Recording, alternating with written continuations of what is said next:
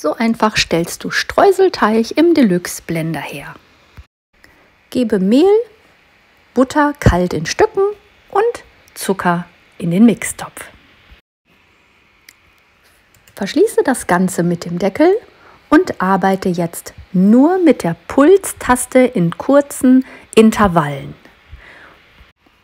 Hier kannst du gut sehen, wie du selbst in Intervallen deinen Streusel herstellst.